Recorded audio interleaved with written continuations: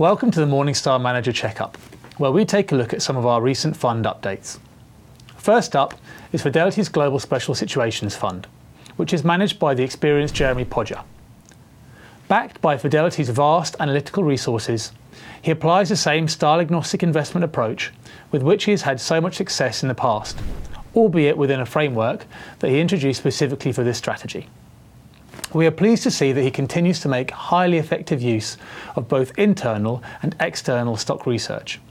This is reflected in the fund's attribution, which shows superior stock selection across most sectors since Podger's arrival in 2012. Podger received our European Fund Manager of the Year award for global equities in recognition of his achievements on this fund and throughout his career. It retains a Morningstar analyst rating of silver. Next, we look to the Far East in particular Japan, with the Lindsell Train Japanese Equity Fund. We like this fund for its long standing manager, Michael Lindsell, and his consistent application of what we find to be a clear and thoughtful investment approach. This is founded in the belief that a highly concentrated portfolio of high quality, cash generative, strong, and easily understood franchises will outperform the market and reduce volatility over the long term. We believe that one of the fund's main strengths lies in Lindsell's deep understanding of company strategies and his ability to see through the noise and buy and hold companies that are best placed to, to defend their business over the long term. Investors should note that the fund can exhibit periods of short term volatility, typically underperforming in strongly rising markets.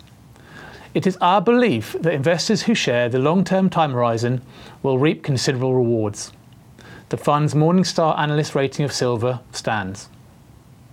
Finally, we look a bit closer to home with the Aviva Investors UK Equity Fund. Chris Murphy has managed this core UK equities fund since 2006, using the same bottom up investment approach that he has applied over most of his investment career. While Aviva's UK equities team has seen some turnover over the last few years, it has experienced more stability over the last 12 months and remains adequately resourced. We believe that Murphy is a talented investor whose genuinely long term perspective has served investors well over the years. The fund retains a Morningstar analyst rating of bronze.